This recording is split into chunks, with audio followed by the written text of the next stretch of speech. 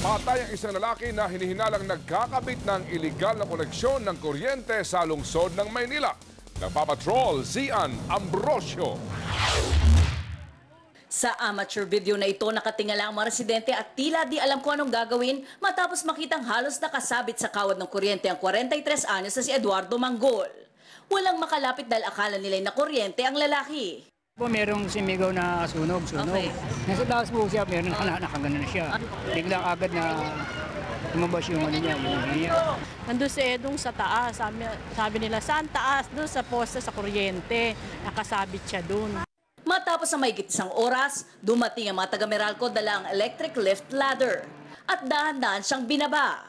Walang marka ng sunog sa katawan ng biktima, pero patay na siya ng maibaba. Sabi ng pamilya, posibleng inatake raw ito sa puso. Gulat ako, kagabi lang magkausap lang kami. Pagbalik ko, nakasakay na sa ambulansya. Ayon naman sa kapatid ng biktima, maaaring nautusan nito para magkabit ng iligal na koneksyon ng kuryente. Hindi naman yan naakid yan, walang uutos yan. Karpentero kasi siya, tsaka pintor eh. Tumanggi na magbigay ng payag ang anim na buwang buntis na asawa ng biktima. Paalala naman ng mga otoridad, delikado at bawal ang pag-akyat sa mga kawad ng kuryente. Z. Ann Ambrosio, ABS-CBN News.